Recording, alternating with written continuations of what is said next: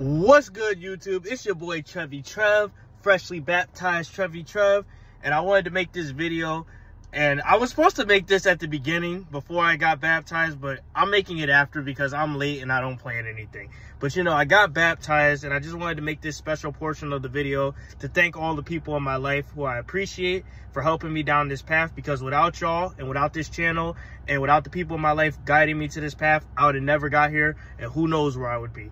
But I want to give a special shout out to you guys, the viewers, because I love y'all. You know, I want to give a special shout out to some, a lot of the people in my life who have given me positive messages, especially on Instagram. We're running it up on Instagram, and I'm happy to say that. You know, I don't care about social media or clout, but the outpour of good messages, I just had to say thank you guys. I want to thank some people in my personal life. First and foremost, I want to thank my brother who came out there and recorded a lot of the event for me. I want to thank the people at the Pathway Church who baptized me.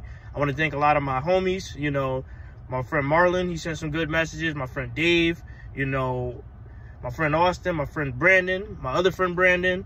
Um, a lot of a lot of friends, a lot of good people. You know, I wish I could mention you all, but you know, then this video would be too long. I want to give a shout out to my godmother, Aunt Jackie, who helped me down the path to Christianity. I want to give a shout out to my family.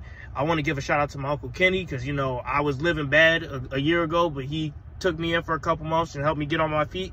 And I just want to give a shout out to everybody who helped me along the way, whether we're cool with each other now or we're not anymore, or anybody who's just been on this journey of my life of 25 years with me. Just thank you so much, good and bad. I appreciate it all because it led me to this point. Without further ado, I'm gonna get into the video. I'm gonna show you guys basically a portion before where I got like where I spoke and gave my testimony then I'm gonna show you when I got baptized and I'm gonna just show you different portions of it. But thank you guys so much. And without further ado, this is my baptism video. I'm happy to put it out there for you guys. And I'm just telling you right now, this is on my honor as a man and as an individual. You will see a new me. You will see a better me. And all things are possible with the glory of God. And, you know, thank you guys for tuning in. And let's get into it. I devoted myself to something greater. I've had it as good as I've had it bad.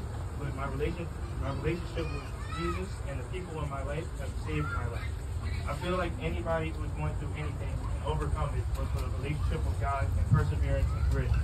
You know, I feel like all roads led here, even though this wasn't necessarily my original path, but I'm happy to be here. I'm happy to believe in God, and I'm happy to follow His commandments. If, again, if anybody's going through anything in life, you can overcome it through a relationship